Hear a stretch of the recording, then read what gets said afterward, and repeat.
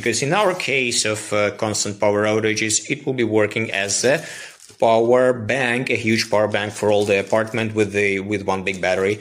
And I think uh, this will be a very nice and interesting case to see. It will don't it, won't have probably any solar on it, but uh, maybe later. I don't know. Uh, not, not not not sure yet. But uh, let let's try. Let's let's do the first installation first and everything next.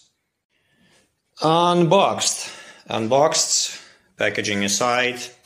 Anyways, let's start with the tiny things. Tiny things are here instruction uh, manual. Uh, the Wi-Fi thing has got the two language one, the English language and Chinese one. So I mean, you will be able to figure it out. And the, the interesting thing is that it has these kind of two bolts, and I'm not sure what for because technically, well, it's obvious. I mean, you connect the COM port to the to this one, and the uh, Ethernet one goes here, but what happens next? Where will you hang it? I don't know. So I'm definitely absolutely not sure what for these bolts are. I mean, obviously they are meant to like connect connect it here, but